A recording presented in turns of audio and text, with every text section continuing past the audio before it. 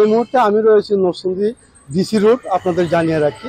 এখানে কিন্তু জেলা ও দায়রা জল চিফ জুডিশিয়াল ম্যাজিস্ট্রেট এবং জেলা পরিষদের কার্যালয় এবং সব বিভিন্ন দপ্তরের প্রধানদের বাসভবন রয়েছে।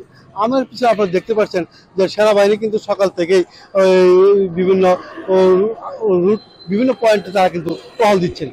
এই টহল দেওয়ার কারণে কিন্তু পরিস্থিতি অনেকটাই অনুকূলে চলে আসছে, নিয়ন্ত্রণে চলে আসছে।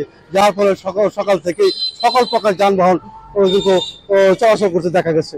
এছাড়াও আপনাদের একটু জানিয়ে রাখি যে সকাল থেকে অফিস আদালত, ব্যাংক বিমা এবং কলকারখানা, সব, সকল কিছু খোলা রয়েছে। এবং শিক্ষা প্রতিষ্ঠান সহ সকল অফিস আদালত খোলা রয়েছে। যার ফলে মানুষ কিন্তু নির্ভয়ে ঘর থেকে বেরিয়ে বেরিয়ে আসছেন। এবং অফিস আদালতে সকাল দশটা থেকেই বিকাল পাঁচটা পর্যন্ত চলবে বলে আমাদেরকে জানিয়েছেন।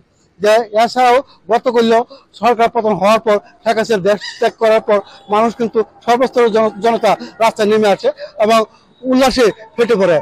যার ফলে কিন্তু যে আহ, কিছু অপ্রীতিকর ঘটনা ছাড়া আর শান্তিপূর্ণ অবস্থা নেই ছিল।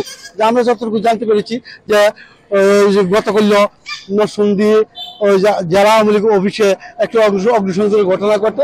এছাড়াও রায়পুরা রাজউদ্দিন আহমেদ রাজউদ্দিন অডিটোরিয়ামে একটি অগ্নিসংযোগ ঘটে।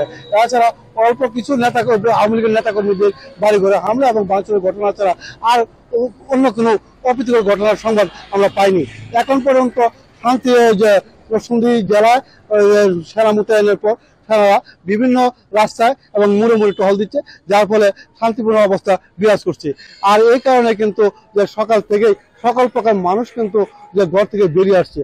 যে এখন পর্যন্ত আমার, আমরা বিভিন্ন অফি- অফিস আদালত এবং শহরে ঘুরে দেখেছি যে কোথাও কোনো অপ্রীতির ঘটনার সংবাদ আমরা পাইনি।